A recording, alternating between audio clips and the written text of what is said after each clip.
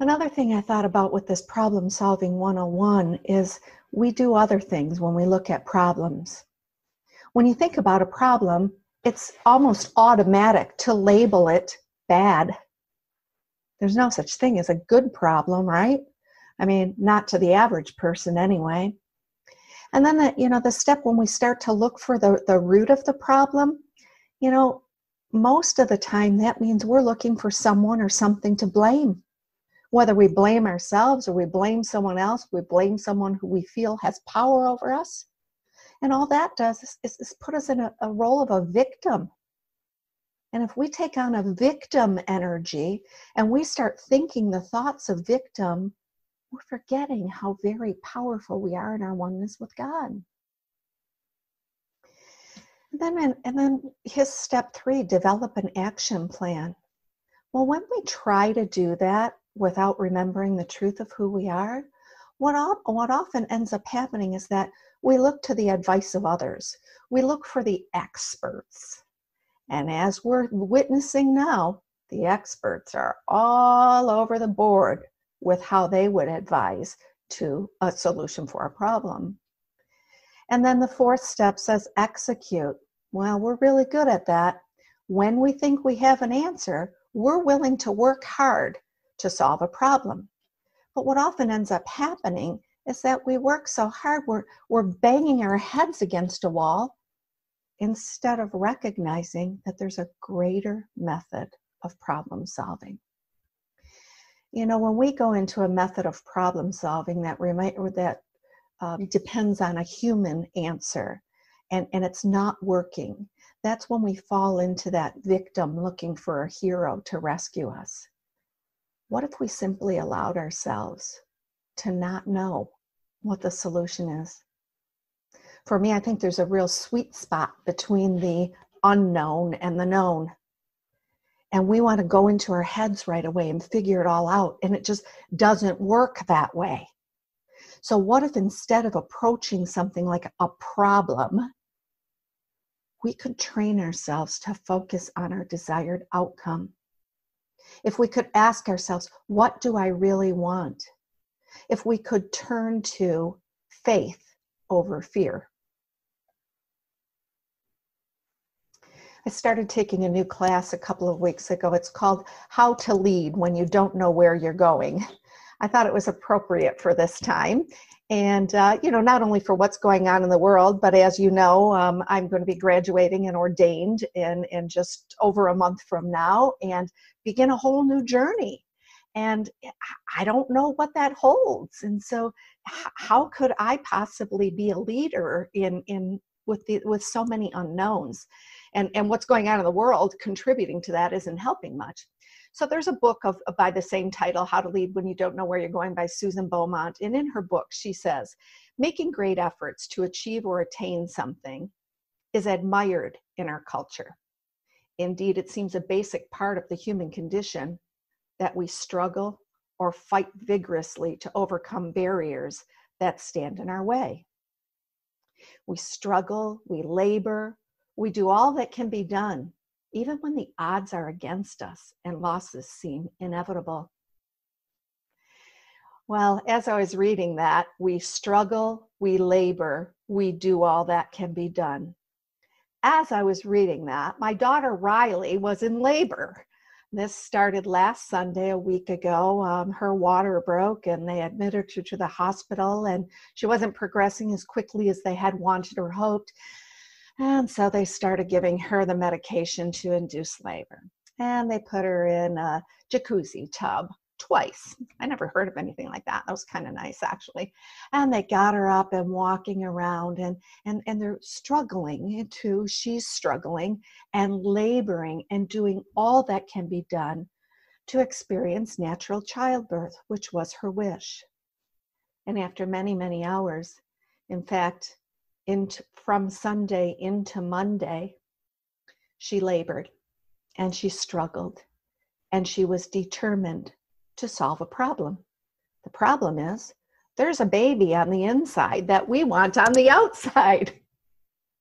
And I couldn't help but think what if we didn't know that a solution was possible?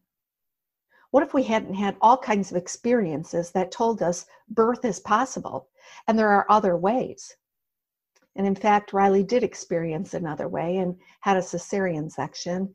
And our beautiful Rory Lee, at eight pounds and nine ounces and over 21 inches long, came into the world last Monday. So, congratulations, Riley and Evan. And we're sorry you had to struggle in labor, but it was so worth it. Uh, we met our beautiful granddaughter through the through the glass yesterday at their house. But what if we didn't know there was a solution? What if we didn't know that there was a way? We could become scared. We could live in fear. We could look to experts and then have conflicting messages from both, both sides. Beaumont says in her book that when we try to solve every perceived problem, we act like we're the Kansas peddler in Oz, hidden behind the control panel trying to pass ourselves off as a great and powerful wizard. And I said, Who's the wizard? Who really knows? Who has the solution for every problem? Took me right back to unity principle number one.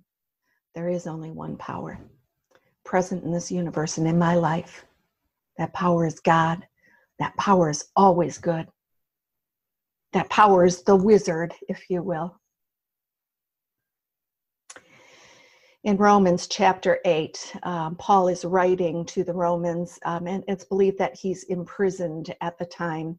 So from verses 18, 19, and 28, he says, I consider that the sufferings of this present time are not worth comparing with the glory about to be revealed to us. For the creation waits with eager longing for the revealing of the children of God. We know that all things work together for good for those who love God, who are called according to his purpose. I think we're seeing this scripture played out today. He said, We wait with eager longing. And we're doing that right now, aren't we? We're definitely in a waiting period, and some of us are getting very eager. But rather than seeing this as a problem to be overcome, what if we remember that sweet spot, that gentle waiting period in the unknown? Because right now, are we in this waiting, waiting for a power beyond us, a government or someone else to decide for us? Or are we choosing to trust God? In the scripture quote, Paul says all things work together. And you know, I'm amazed by this. The coming together we're seeing during this time of crisis, the beautiful collaborations that people are doing during this time of physical separateness. Just yesterday, I watched a video that uh, my brother was a part of the production of. He's a singer, and it came together with musicians from around the world, all from their remote locations and created a beautiful video for our time. Um, they they remade Under Pressure, which was by Queen and David Bowie, two of my fav- personal favorite artists. Um, but it was so beautifully done, and I'm just in awe of all the creativity and the passion and the collaboration that's coming about because all things do work together for good for those who love God and are called according to his purpose. And so I say, Do we love God? And your answer would be, Of course I love God. And then I would say, But how do you how do you love God? How do I know that you love God? And we do that by loving ourselves, by being gentle with ourselves, by trusting ourselves through this process, and then by loving others. It's the great namaste. I, the Christ in me, sees and honors the Christ in you. Called according to his purpose, God's purpose is simple. Just as Jesus taught again and again, the purpose is to love. Love. Just love. And there you have it. Problem solved. No offense to Mr. Watanabe and his great bestseller book, his steps are a great way to be a critical thinker. I choose to be a spiritual thinker. I choose to trust the five basic unity principles. How about you? Let's pray. Problem solving 101, God. We turn to you with any perceived problem. Help me to know and trust. Help my faith to be strong, especially when fears of the unknown come. Help us to show love for ourselves and for all others, and to see that this period of time or this perceived problem as an opportunity to grow ever closer to you. For this we pray, for we know that you always hear our prayers. We know that indeed you are with us, breathing us, beating our heart, and inspiring us with creative thoughts and energies that are enough to solve any problem. We trust you. And so we let it be. Amen.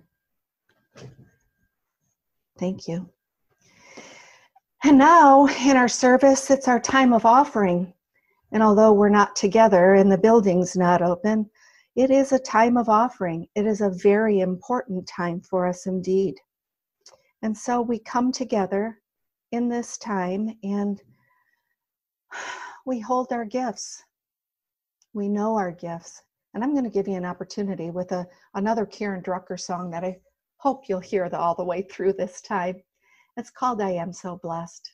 So let's take a moment to say our offering blessing together. Divine love, through me, blesses and multiplies all that I have, all that I give, and all that I receive.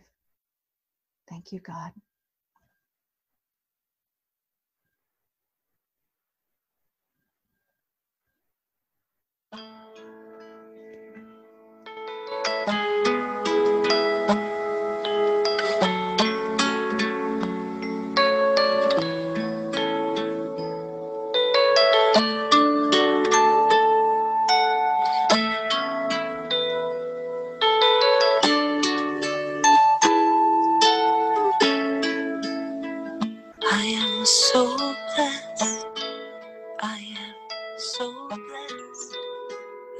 So grateful for all that I have.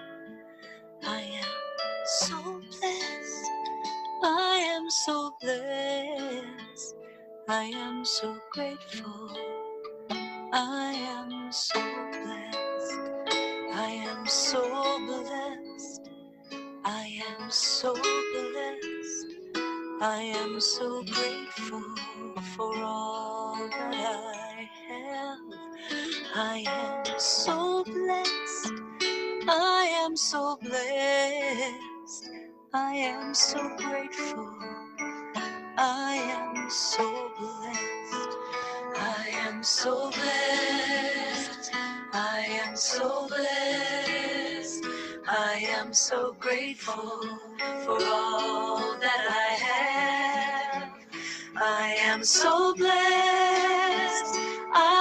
So blessed. I am so grateful. I am so blessed. I am so blessed. I am so blessed. I am so grateful for all that I have. I am so blessed. I am so blessed. I am so grateful. I am so blessed. I am so blessed. I am so blessed. I am so blessed. I am so grateful for all that I have. I am so blessed.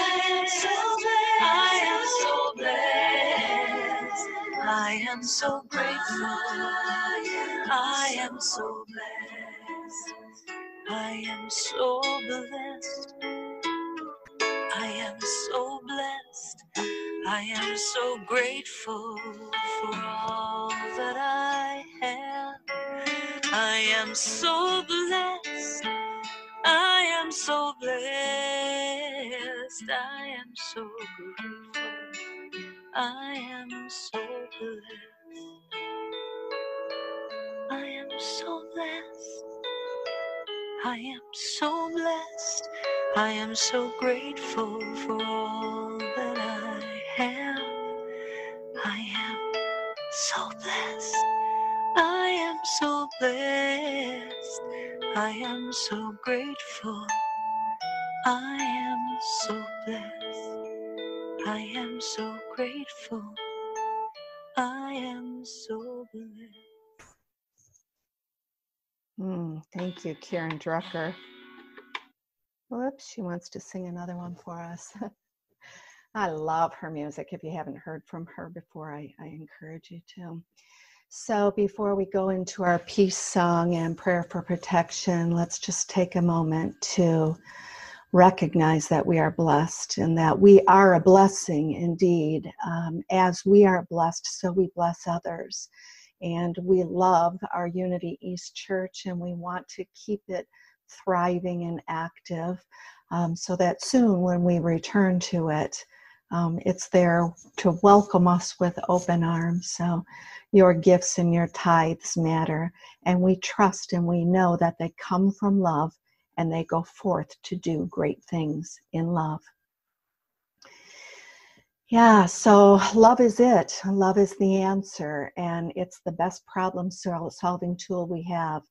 The five basic unity principles are our guide, and we know that to be true. So I just encourage you throughout this week to pause and to remember what you know in truth that all is well. And so, right now, uh, join hands with the person sitting near to you if you're sitting near to somebody, or just stand and sing, if you will, um, our peace song.